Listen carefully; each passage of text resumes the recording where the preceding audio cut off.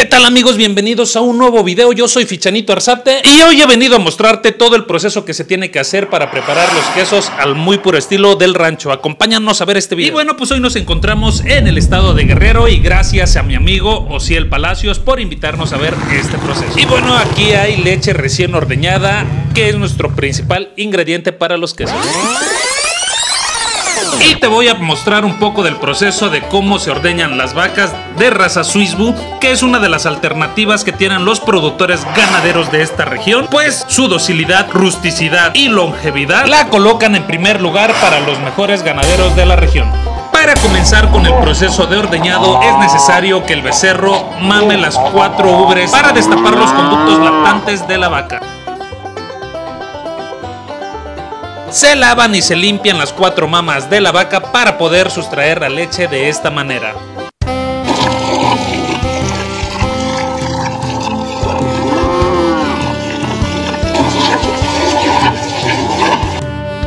También no pudimos dejar pasar la oportunidad de probar la leche de vaca recién salidita y créanme que es una experiencia única. Una vez ordeñadas las seis vacas con las que cuenta mi amigo Ciel, se puso la leche a reposar durante aproximadamente dos horas. Y en lo que reposa la leche te voy a contar que hay tres formas de hacer los quesos con diferentes cuajos. El cuajo que más se utiliza en esta parte de la tierra caliente es el cuajo animal. Es una sustancia que se extrae de los estómagos de las crías de mamíferos como cabras, vacas y ovejas. Y este también lleva un proceso de elaboración diferente. Con este tipo de cuajos es como vamos a trabajar ahorita, pero también te cuento que hay cuajo vegetal y cuajo microbiano. Así es como se ve el cuajo que nosotros vamos a utilizar y una vez reposada la leche se procede a agregarle el cuajo de esta manera. O sea, ese es un cuajo. cuajo de la res, ¿no? De la red. ¿Con qué dices que preparan el cuajo? Con sal, Ajá.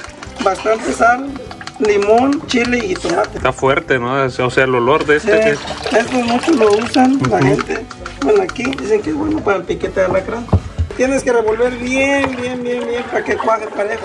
O sea, de la misma leche se pueden sacar tres, eh, Tres productos. tres productos de los que la gente conoce cotidianamente, pero que no saben cómo se hace. ¿Cómo se saca? Lo primero se saca la nata, Se que saca. es lo gordo de la leche. Ajá, entonces ya de es- ahí, pues se cuaja, cuaja, se revuelve y sale el queso. Y ya de ahí, de lo del queso, se exprime y todo, Ajá. y sale el quesón. Ahorita entonces tenemos que esperar aquí cuánto tiempo? Una hora. Vamos a cortar el video para que vean ahorita cómo está, está la leche y vamos a regresar en una hora. Ahorita son la- las 11 con 10 minutos. Una hora después. Se tiene uno que lavar bien las manos porque vamos a revisar cómo va la cuajada. bien lavados hasta arriba porque ahorita vamos a ver. Y este, Tiene que cuajar así de esa forma Sí. todo. y aquí se le echa cruz.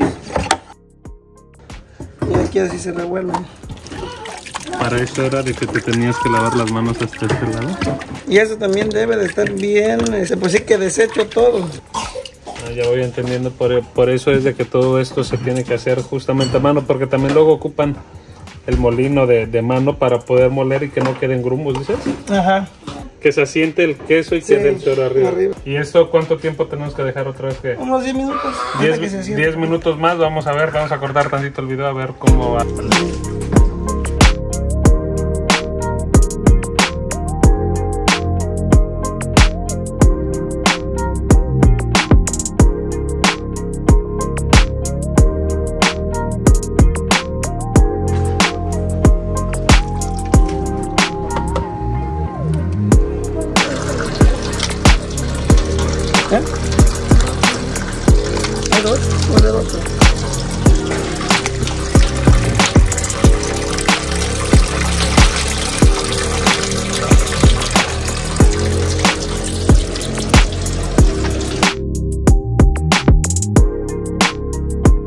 Así es como poco a poco se va exprimiendo todo lo que más se puede del suero para recuperar algo y de esta manera poner a hervir para que salga el requesón con el suero que sobra al momento de exprimir el queso.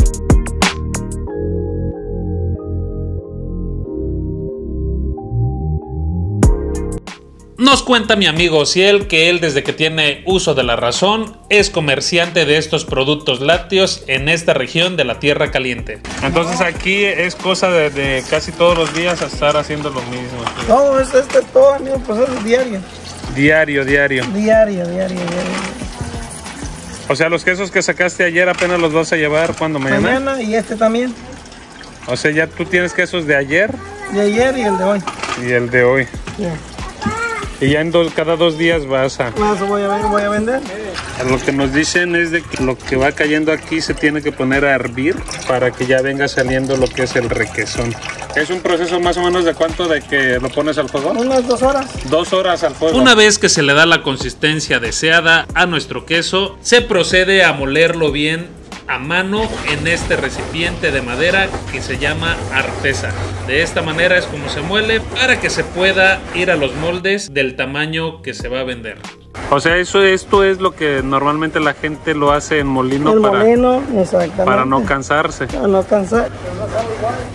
No sabe igual No, no es el mismo sabor. completamente este queso pues hecho a mano, miren.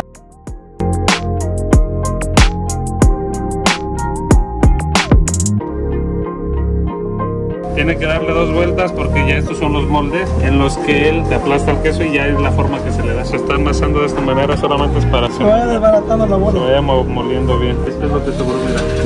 No, Esta leche se ve muy espesa. Sí, en teoría dices que es como la leche descompuesta, ¿verdad? Lo que sobra. Es del suero, se le va a echar toda esta de aquí. Se va a poner a hervir porque es de aquí donde, donde sale el requesón. O sea, este ya es el queso, queso, ¿no? queso.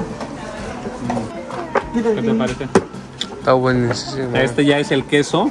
Sí, sí lo toca ahí. Sí. Y mira, a ver. ¿Qué hubo?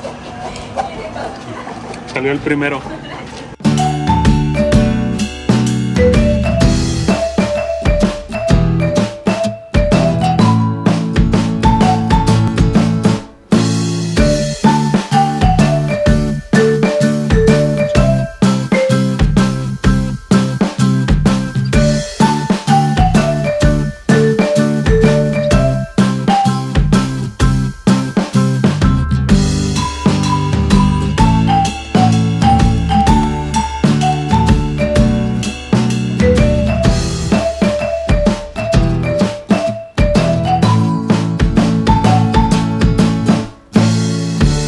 Una vez terminando de hacer los quesos, se procede a echar un poco de sal al suero que sobró para proceder a preparar el requesón. Si te está gustando este video, no lo dudes en dejarme un like o compartirlo con todos tus amigos o suscríbete a este canal. Me vas a ayudar muchísimo a seguir creando contenido para ti.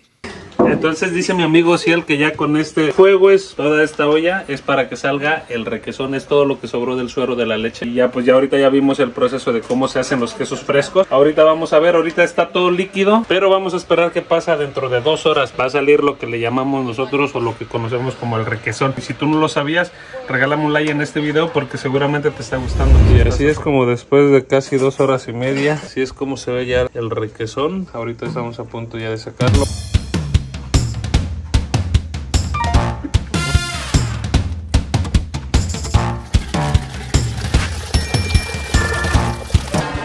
¿Y aquí ya cuánto tiempo tarda ya para? Pues nosotros lo, lo dejamos como unas 8 horas ahí. Ocho horas. Y puede ir bajando todavía unas Sí, gotitas. sí, tiene que estirar bien. Tiene que quedar bien estirado. Pero por supuesto que no podía faltar que nosotros probáramos estas delicias que en esta casa se hacen. Le quiero agradecer abiertamente a mi amigo Ciel por haberme dejado entrar a su hogar e invitarme a comer este rico aporreado muy al estilo de tierra caliente y es muy tradicional en esta región. Nos encantó muchísimo com- compartir con ustedes. Por favor, si a ti te gusta este video, no dudes en dejarme un like. Si puedes, suscríbete a este canal que te lo voy a agradecer muchísimo para que me ayudes a seguir creando contenido para ti. Espéranos a la próxima con un video nuevo porque todavía hay mucho más de qué hablar sobre los temas del rancho. Hasta la próxima.